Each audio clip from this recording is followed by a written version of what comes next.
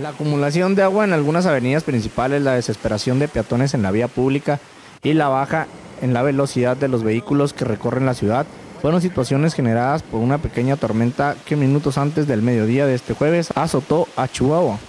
A pesar de que las unidades de protección civil a nivel estado y municipio alertaron a la ciudadanía de la amplia posibilidad de precipitaciones pluviales y el descenso de las temperaturas en esta ciudad y en casi todo el estado, la lluvia sorprendió a los chihuahuenses debido a que fue en cuestión de horas que el cielo amaneció parcialmente limpio, comenzó a cerrarse, la neblina invadió zonas de la mancha urbana y una pequeña tormenta conformada por lluvia y granizo azotó la ciudad. Cabe mencionar que esta mañana la Coordinación Estatal de Protección Civil informó que existían pronósticos de lluvias ligeras y neblina,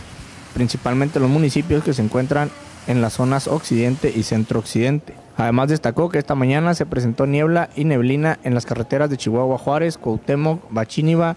Bocoina, Ocampo, Madera, Temosachi y Coyame.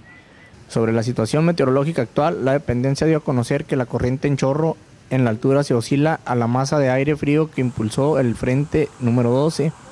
que favorece a la presencia de nubosidad y al potencial de 30% para precipitaciones ligeras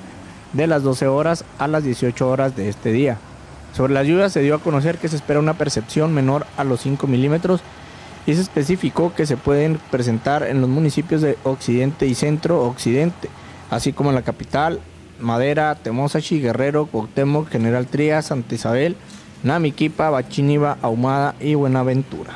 De igual manera se presentó en la capital vehículos varados en lagunas que se juntaron en principales avenidas como fue en el periférico de la Juventud a la altura de la Facultad de Medicina, donde un vehículo Volkswagen Beetle se quedó atorado y fue necesario usar una camioneta de la unidad de vialidad para poder rescatarlo del agua.